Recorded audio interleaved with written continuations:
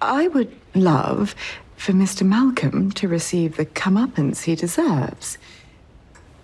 But I need your assistance. My assistance? Hmm?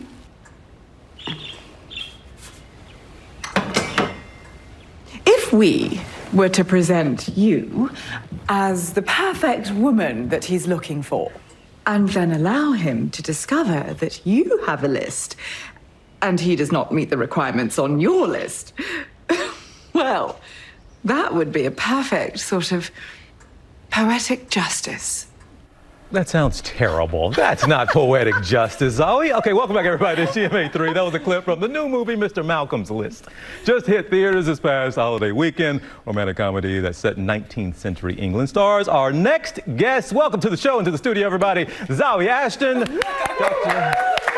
Dr. Your cousin, I do believe. I know. We're trying to figure out if we're related. We could, I we hope. could have a relation here. I, just, I wish I'd become a doctor Same. maybe rather than an actor.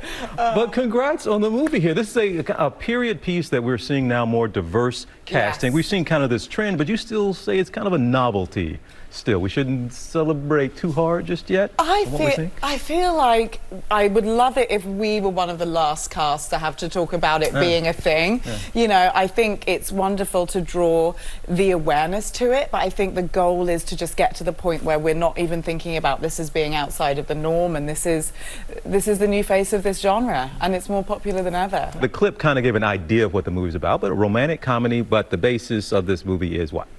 The basis of this movie is uh, a very, very kind of uh, Jane Austen, I suppose, inspired um, uh, romance and revenge story. So we start with this incredible bachelor, this very suitable, eligible man, Mr. Malcolm, and my high society woman, Julia Thistlethwaite.